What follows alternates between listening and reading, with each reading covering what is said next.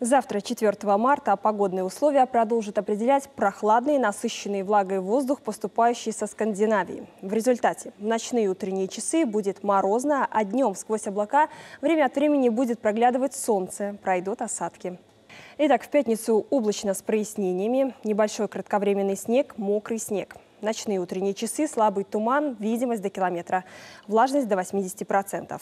Ветер северный, ночью слабый, днем умеренный. Атмосферное давление высокое и будет слабо расти. Температура воздуха утром от минус 1 градуса по западу до 4 мороза по востоку страны. С учетом влажности и ветра по ощущениям будет на 3-5 градусов холоднее. В середине дня столбики термометров на отметках от 0 по северо-востоку до плюс 2 по юго-западу страны.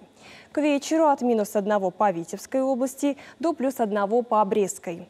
В субботу Беларусь окажется на восточной периферии скандинавского антициклона. Медленно двигаясь в южном направлении, он принесет облачную с прояснениями погоду. Ночью утром небольшой кратковременный снег, днем без осадков.